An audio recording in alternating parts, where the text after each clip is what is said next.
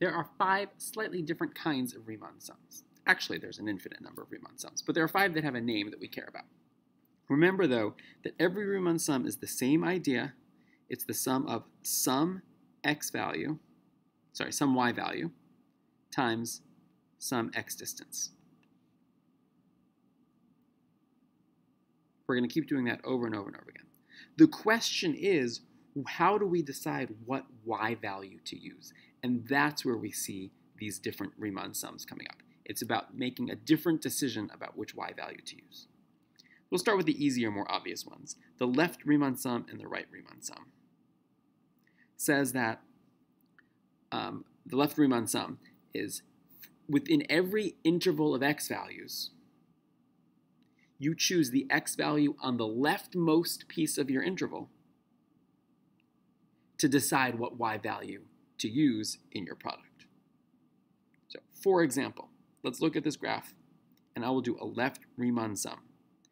Um, I'm told here to use five subintervals, and just to make our lives easier, I will make those five subintervals evenly spread out. So my delta x will be 1 no matter what. A left Riemann sum would choose the y value from the leftmost point of every interval. So for this first interval from 0 to 1, I will choose the y value from here, which is about 3. And I will make a product of that y value times that x distance, and that's my first product. For the second interval, from 1 to 2, I will use the x value that's farthest on the left, which would be 1, to find the y value, or f of 1, and I will use that y value to make my product of y times dx. And I will keep doing that for every interval, so from 2 to 3. I will choose the x value farthest on the left to pick the y value.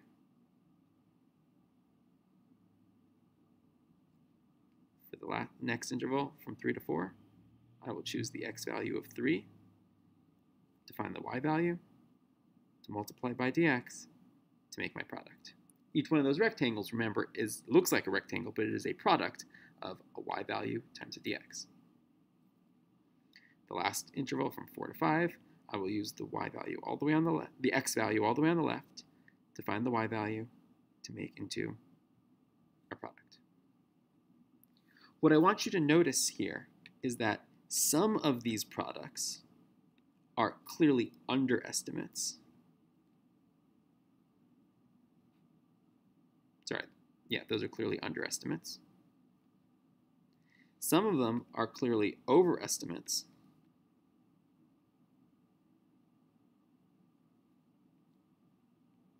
And I can't really tell you just by looking whether the underestimates or the overestimates are stronger. It certainly looks like the um, overestimates are stronger, so overall this left Riemann sum would be an overestimate. But there's no rule for that. A right Riemann sum would do almost the exact same thing, except instead of for every interval choosing the leftmost x value, I'm going to choose the rightmost y value, sorry, the rightmost x value to find the y value to multiply by dx and make a product. Choose the rightmost x value to pick the y value to multiply by dx to make a product. I'm going to keep saying the same thing over and over again. Choose the rightmost x value to find the y value to multiply by dx to make a product. Two more. Choose the rightmost x value to pick the y value to multiply by dx to make a product. Choose the rightmost x value to find the y value to multiply by dx and make a product. That would be a right Riemann sum. One thing I want you to notice about this right Riemann sum, and this might not be perfect, because I was drawing this all pretty loosely by hand, but it should match up pretty well with four of the five columns, four of the five products from the right Riemann sum. Those are pretty much exactly the same thing for four of the five columns.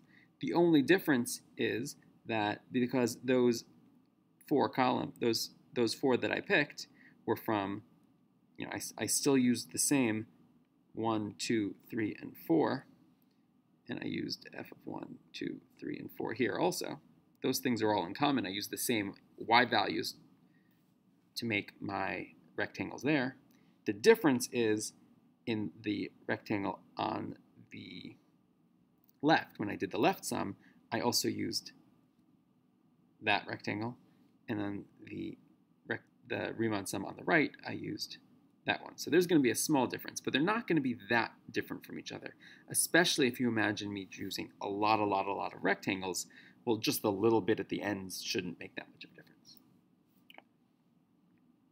The next two are the lower and upper Riemann sums, and those are very different from the left and right. There are a lot of important differences. What we're going to do for the lower sum is from every interval, or every subinterval, I should say, I'm going to choose the lowest y value to multiply by dx and make a product. In the next interval, I'm going to choose the lowest y value in the entire interval to multiply by dx and make a product. The next interval, I'm going to choose the lowest y value to multiply by dx and make a product. The lowest y value to multiply by dx and make a product. And last one, the lowest y value to multiply by dx, make a product. And what I want you to notice is that these different y values that I chose, one of them was on the left, one of them was on the right, another one was on the right, two of them were somewhere in the middle. There's no rule or rhyme or reason where the lower and upper sums are going to fall, meaning which x value from within the subinterval we're going to use. The upper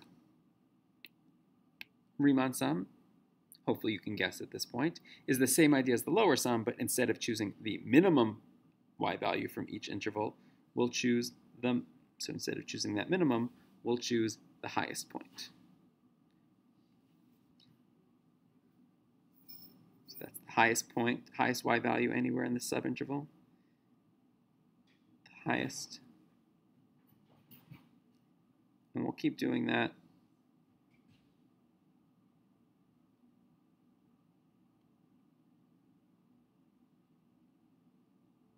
until we have all five rectangles.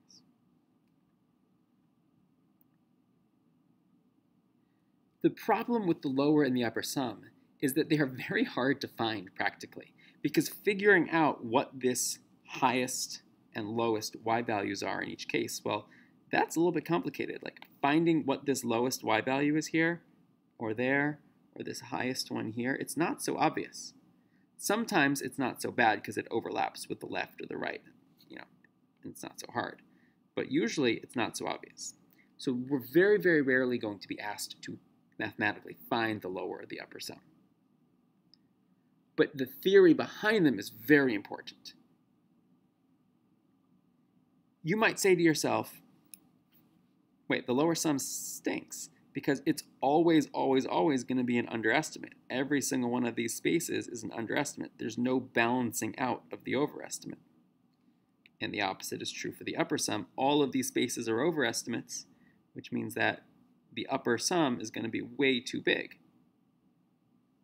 But the truth is that that is a feature, not a bug. That's a good thing. Because if you know that the lower estimate is always going to be an underestimate, and you know that the upper estimate is always going to be an overestimate, you can squeeze the two of them together because you know the actual definite integral is going to be somewhere in between those two. You can use the squeeze theorem to squeeze them together to find the actual definite integral. We'll get to that later on. One more Riemann sum to calculate is called the midpoint sum, which is much, much, much more similar to the left and right sums than it is the lower and the upper sums. The idea with the midpoint sum is for every subinterval,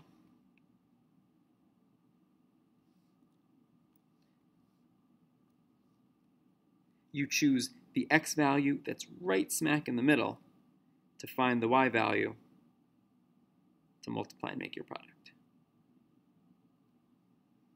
Which sometimes can be a bit annoying because you end up using slightly more awkward fractions or decimals. In between 0 and 1 is 1 half. So I would have to, whatever this function is, I would have to find f of 1 half for this y value which sometimes isn't so bad, sometimes it's kind of annoying. And then I have to find f of 1 and a half, which will be around there. The advantage to the midpoint sum is just like the symmetric difference quotient. We kind of assume that the midpoint will balance out the overestimating and the underestimating, and although we can't assume it's perfectly balanced, it'll at least be pretty good at finding a decent approximation of the definite integral. That's why it's convenient for us. It's less convenient to actually do.